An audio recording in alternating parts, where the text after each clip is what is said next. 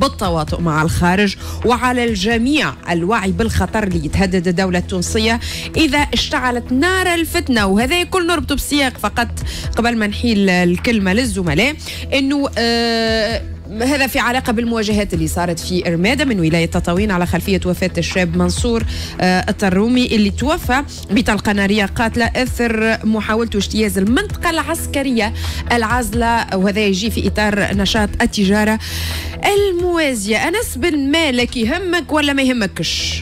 ما يهمنيش. نسمعوا منك. ما يهمنيش آه، لسبب بسيط وأنه استانسنا لخطاب السيد الرئيس قيس سعيد. ديما ضد أطراف مجهولة وما نعرفوهمش.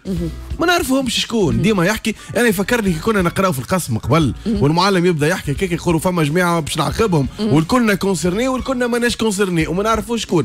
الخطاب نتاع رئيس الجمهورية ملي ملي شد معناتها ديما ضد أطراف مجهولة وأطراف باش تخرب وإحنا ما عرفناهمش. مبني المجهول. وماهوش داوي باش يفسر لنا فعل مبني المجهول. مادام تحكي على القسم. مجدولين يهمني؟ دايوغ حكينا فيه الموضوع هذا البارح خاطر اللي صار نعاود نقول